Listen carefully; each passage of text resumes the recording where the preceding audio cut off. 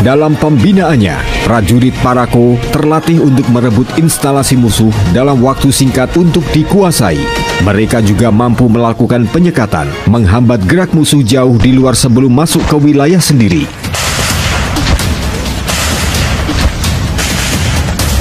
Dalam fungsinya, mereka ditugaskan melakukan patroli jarak jauh untuk melaksanakan pengintaian kegiatan dan penghancuran wilayah musuh yang posisinya sangat jauh untuk selanjutnya dilaporkan ke markas komando. SIM laporkan untuk sasaran telah dilumpuhkan. Segera laksanakan eksfiltrasi menuju titik jemput yang telah ditentukan. Berjaga. Jaguar, ada.